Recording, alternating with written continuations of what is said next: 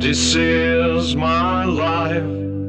I'm not guilty of wasting my time on a book nowhere to help me sailing.